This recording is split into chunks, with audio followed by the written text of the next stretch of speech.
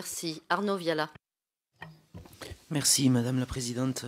Euh, à mon tour, je, remercie les deux présidentes d'avoir organisé cette rencontre et découvrant d'ailleurs à cette occasion que certains de mes camarades sont à la fois membres de la Commission des Affaires européennes et d'une autre commission, je dis que je n'ai pas ce privilège et qu'à ce titre, je trouve que, euh, en tant que parlementaires nationaux, nous n'avons que trop peu euh, d'interactions avec euh, nos homologues euh, européens et les institutions européennes dans leur ensemble.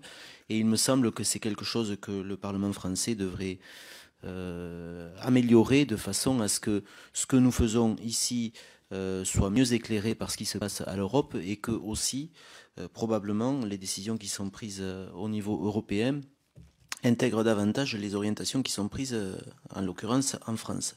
Sur la question donc euh, de, de l'harmonisation des pratiques sociales euh, au niveau européen, moi je considère que il s'agit d'une des questions fondamentales qui qui intéresse nos concitoyens et que c'est là qu'on va voir s'il y a réellement un portage politique de l'Europe qui se dessine ou pas. Et je l'appelle euh, personnellement de mes voeux parce qu'il me semble que dans la mondialisation que vivons euh, tous azimuts, euh, c'est courir un grand risque que de ne pas aller vers ça. Mais j'ai deux points précis sur lesquels, Madame la Commissaire, je souhaiterais vous, vous, interpeller. Le premier, c'est sur les conséquences du Brexit. Euh, sur le travail que vous êtes en train de faire. Et je relis ça à une question qui a été posée par euh, certains de mes collègues sur Erasmus, étant donné que dans les mouvements de jeunes euh, liés à ces programmes au sein de l'Europe, il y a beaucoup de mouvements qui se font actuellement en direction de la Grande-Bretagne et que je voudrais savoir les conséquences qu'on peut déjà euh, imaginer euh, de la sortie programmée euh, de la Grande-Bretagne de, l'Union européenne par rapport à ces mouvements. Et le deuxième, il a également été évoqué, c'est sur le secteur des transports.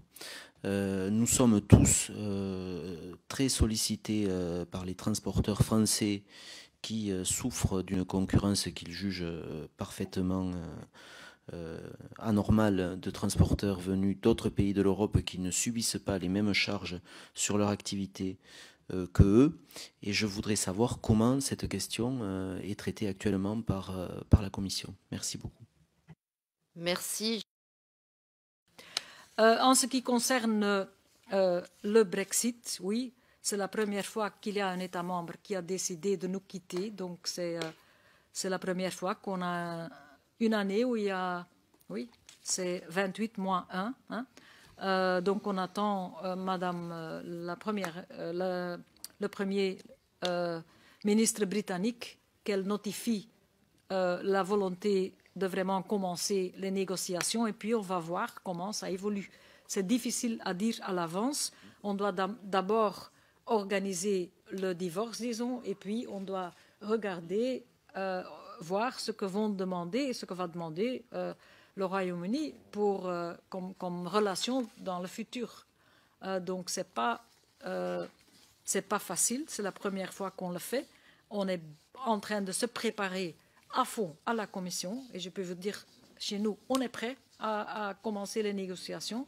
Vous savez que M. Barnier est le responsable politique pour ces négociations, donc je peux vous suggérer de l'inviter une fois pour. Euh, voilà, je pense que oui, euh, lui, il, euh, il sait exactement ce qui se passe parce que c'est difficile à l'avance de dire ce qu'on va faire, ce qu'on ne va pas faire. Ça dé dépend des négociations, naturellement. Euh, puis on a. Euh, puis on a euh, l'harmonisation des pratiques sociales. Oui, c'est le socle, donc euh, on, on, doit le développer. C'est les pratiques, c'est vrai. Et c'est dans les mêmes des États membres, des partenaires sociaux, euh, aussi des institutions européennes. On doit travailler tous ensemble. C'est la raison pour laquelle on, va lancer ce socle. C'est un, engagement ensemble de travailler et de se faire guider par un boussole qu'on va développer tous ensemble. Et c'est vraiment pour avoir une convergence vers le haut. Euh, pas vers le bas. Pour, pour aller vers le bas, on ne doit rien faire, ça va automatiquement. Si on veut euh, une convergence vers le haut, on doit faire des efforts, mais on doit les faire ensemble chacun avec les compétences.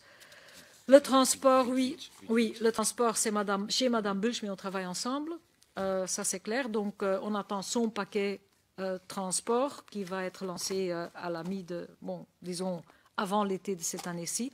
Et là, on va mettre des dispositions spécifiques aussi pour le détachement, pour les travailleurs dans le secteur du transport.